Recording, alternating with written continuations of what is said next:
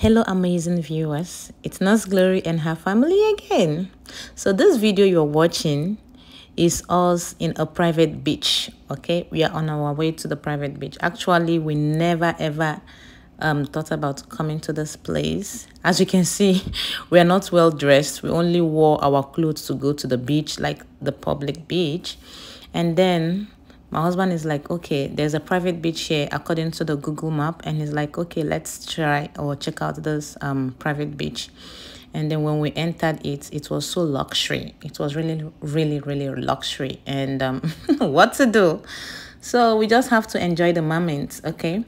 So i couldn't make live stream so i decided to take videos to share with you guys. So you all should enjoy this video.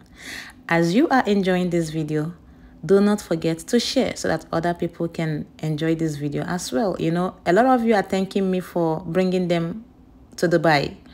You don't have to fly to dubai. You can actually see dubai through my lens okay? Thank you so much for doing that. So guys as you're watching this video i'm going to be sharing a very short story with you Some of you said you love when I share story. Okay, so sit down, grab your popcorn, and listen to my story. This stage, you see me and Darko. We did not just get here overnight. Guys, it took so much strength, energy, time, money, agreement, understanding for us to get to here. It did not just happen, guys. And we thank God for His grace and for giving us the strength to make it up to this moment. Let me tell people a short story how I met my husband. You all already know, but I know new people will be watching this story. You can check my previous stories to, to hear how I met my husband. So when I met this man in the Philippines where I was studying, he was very, very nice, kind, and generous, okay? He was there for me when I needed help Guys, I am not an opportunist. My parents did not train me up that way. Okay? I was just a desperate child who has no mother or father in the Philippines, who has nobody. You understand? Just trying to help myself to get out of school, to graduate, especially in a country whereby there is no job. I don't have that mentality of saying this person owe me something, that person owe me something. No.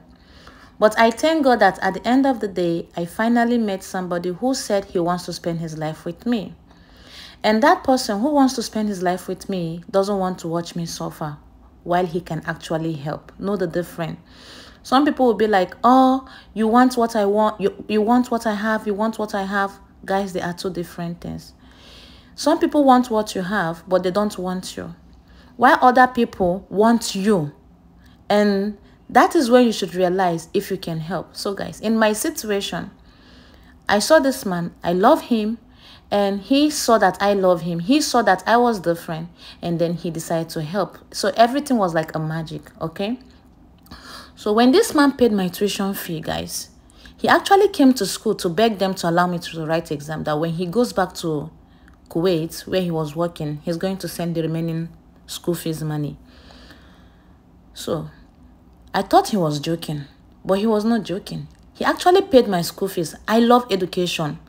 Guys, I am this child that my father said he doesn't um, want to send the female child to school because they will end up in a, another man's kitchen. So my mother made this possible, guys. All thanks to my mother who sent me to the Philippines. God bless her. So, because of that, I took my education so serious that I just want to graduate by all means. I just want to get that degree by all means. I was so, so focused. Do you understand? Sometimes when I'm telling my friends the kind of life I want for myself in future, they'll be laughing at me. Nurse Glory, please stop dreaming. Stop dreaming. But I wasn't dreaming. At some point, I stopped telling them my dreams, my plans, because they are mocking at me. They are laughing at me, you know. But only me understand where I want to get to. Do you understand? So after this man succeeded in paying my school fees, eh, I am debt free. Guys, he thought I was going to run away from him. He thought I'm going to block him. But guys, I was not brought up like that. Honestly speaking, I actually loved this guy. So I sticked with him. I did so many sacrifices because he also sacrificed for me. Do you understand? So when I came to Kuwait, where he was living and working to live with him as his wife because I came on spousal visa, it was difficult to get me Kuwait visa because I'm a Nigerian passport holder. But with his connection with um, the locals in Kuwait, guys, he got me this visa. So I don't have to go to Nigeria and come to Kuwait. So I came from Philippines to Kuwait, although I was asked so many questions at the airport. So finally I came to Kuwait. I started looking for a job, which I couldn't get a job. Do you understand? Okay, there was this company I found, this hospital. They said um, my husband have to pay for my sponsorship visa. Why would they say my husband should pay my sponsorship visa when they are the one that's supposed to transfer my visa from family visa to work visa? Imagine. And do you know how much they want to pay me? Peanuts. But you know why? I really wanted to work. I want to accept that peanut because I don't just want to depend on my husband. Of course, you should depend on your husband because he's your husband. But guys, I have family back home who depend on me and they're not working they are not working and i am not this type of a person that is always asking somebody for money if i need money for this i will ask my husband if i need money for that i will ask my husband imagine so if my husband is going to work he used to give me money to buy um, groceries around the house so i'll be saving some money and those money i'm saving i used to send it to my family because one kuwaiti dinar is equals to 1000 naira so imagine if i save like 20 kuwaiti dinar it is like 20,000 or 25,000 naira according to exchange rate or whatever. So it's, it's very huge. So as time goes on, this company I applied for job didn't work. Okay. So my husband now said, um, I should just stay at home. and uh, his salary will take care of us. Guys, I'm not okay with that. I'm a Nigerian woman. No. I love to work hard. And guys, remember I told you before, the kind of life I want for myself, nobody can give it to me. Only me can give it to myself by the special grace of God, with God helping me. You know, they said, help heaven help those who help themselves, right? So God is actually ready to help me. He just wants me to make the move so that He can give me strength. He can clear obstacles for me. Actually, obstacles came, but He made me to overcome them. So, guys, I was still disturbing my husband that I need something to do. I need something to do. Hmm. and he now said, okay, since I'm at home, let me take up English course called TEFL. So I took up the course for three months and then I got a certificate. So with that certificate, I was able to be applying for teaching jobs in Kuwait. I found a teaching job whereby they are supposed to pay me some good amount of money, but there's no um, rent, no um, transportation, no accommodation. My goodness, my husband was not okay with it. He said, What if I was not married? How am I going to pay my rent? This money is too small. But me, I was like, honey, let's just accept this money like that. At least it's still better than me sitting down at home doing nothing because all I do is when he goes to work, I just turn on the television and watch, eat, um, shit, and uh, sleep. That is what I do until he returns from work. He now said, okay, okay, that he can see in my eyes that I really want to work. And when I started working, these people I'm working with started misbehaving. They don't want to pay me. After paying me one month, the second month, they they started misbehaving. They don't want to transfer my family visa to um, their company visa. Anytime Minister of Education come, they'll be asking me to run, run. And my husband doesn't like that. He said, if these people catch me, that he is in trouble because I, I am under my husband's visa. So guys, my husband now said I should stop working. That he doesn't like the way they are treating me because this is how some of them treat Africans passport holders. So these people refused to pay me the second salary. My husband now called them and said, Do you want problem? Do you want me to call the Ministry of Education to close down your school or you pay my wife? Mm, my friends, these people paid me with immediate effect. I went home. I started looking for another job. I found another job whereby they were going to pay 20, is it 20 dirham in a day or 15 dirham? I don't know. Um, Kuwaiti dinar. It's Kuwaiti dinar, guys. We're still in Kuwait, okay? Don't be confused. My husband said this money is too small. Why am I stressing myself? I said, honey, you don't understand. It's still better than sleeping at home. Guys, then I don't have a baby. Oh. I was just new in Kuwait. I don't have anybody. I don't have any friends. So you can imagine the boredom. My husband now say, okay, one thing I like about my husband is very, very supportive. As long as I open my mouth and tell him what I want, he will help me. So guys, I started working oh, with these people's agreement. These people self refused to transfer my visa to their company visa. They said after month ending, okay. After my first day of teaching them, they said we are going to close school so so time. Do you know that I even stayed longer than the time? Hmm. Okay, pay me the 15 dirham you say you are going to pay me. They're telling me they will pay me month um at the end of the month. I said, but that was not the agreement.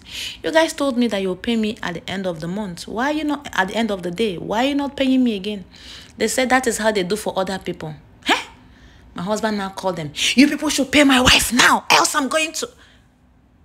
They were like, but this is how we pay others. He said, listen to me. I am Serbian, okay? And I work with so so so and so so so company. And you know, I have worked with the sheikh of this country. He was calling names, giving them names. If you don't want Minister of Education to come to your school tomorrow, you pay my wife her money because she earned it. And guys, these people brought out the money and paid me. So one woman said, Glory, you have a good husband. Hold him tight. So many African people here are suffering because they are not paying them and they don't have anybody to speak for them. You are blessed to have somebody who speaks for you. Hmm. Guys, now my question is, if I am not married to this, my husband, does it mean this is how they'll be cheating on us? Hey! My husband now said, please stop working. Stop working. You are stressing yourself. You are stressing. So guys, I now listen to him and I stopped working. Okay? But trust me now. Ah, I know they stay one place. I have a YouTube channel that I opened in the Philippines that I abandoned. so I took this channel very, very serious. So I started sharing my story, how I left Nigeria to come and study nursing in the Philippines.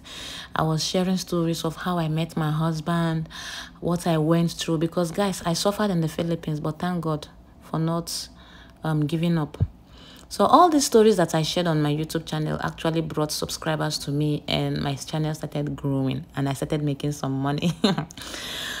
Initially, my husband was against it. He's like, oh, don't put your business out there. Social media is dangerous, this and that, blah, blah, blah. I said, well, I'm not going to put you. It's just me. You know, they don't know anything about me. It's only what I've gone through. And I said, okay. Like I said, this man is supporting. Hmm the first paycheck I made, this man wanted to go crazy. He was very, very happy. Very, very, very, very happy. And then we had a baby. I was using my baby to make video. I was, guys, it was not easy because I was a stay-at-home mom, working from home as well. I took YouTube very, very serious. And then when um, I delivered my son, I opened a Facebook page so that Facebook page I opened, I posted a video of Duduke and the video went viral and then it started bringing people to me. So when I got over 10,000 followers and the watch hour that Facebook needed, the bad thing was that I'm, I was living in the Kuwait, in Kuwait, and Kuwait is not eligible for Facebook monetization. So I spoke to my husband about it. Although he doesn't know anything about social media, but I sat him down and explained to him how much other content creators are making for social from social media. So I told him if we can move from this country to an eligible country, we can start earning because we have a very good audience, organic audience that love us and love what we do. Initially, my husband is like, where do we get money? Migration is not easy. And which country is very good for us that is close by? We said Dubai. Hmm guys that was how we started saving money we saved money. And during this period i wanted to travel to dubai. Eh? hey! Guys there were so much trials and temptation. So many things happened. Hey! But we came out we overcame it sha. Guys that is what i'm saying. You see where we got to today eh? It did not just happen overnight.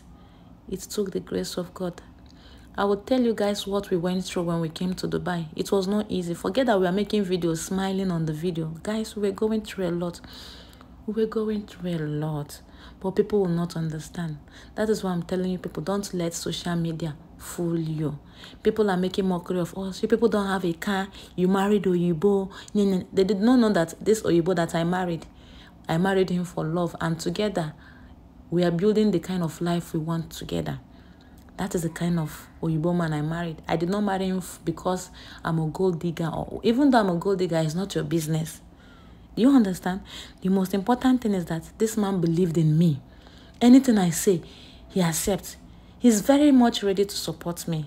He likes my zeal. Sometimes she'll be like, What? Are you sure this is going to happen? I will be like, Trust me.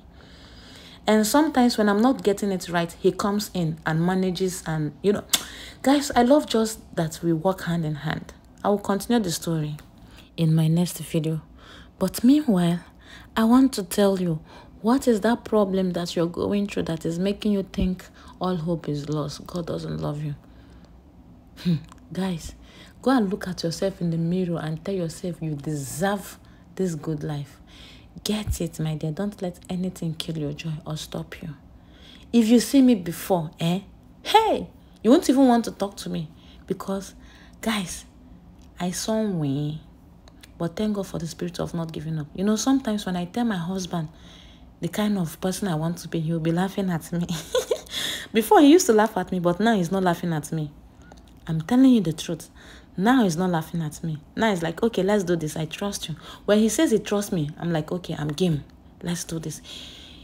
You you need somebody that trusts you, that believes in you, that doesn't get jealous about your achievements. Because your achievement is his achievement, is our achievement. Because without him agreeing, there will not be me coming here. There will not be me being in Dubai. Guys, did you see God in action? So this God that has remembered me and my family will certainly remember you. He will remember you too. You that left your country and moved to another country for greener pasture. God will remember you. Amen. Thank you.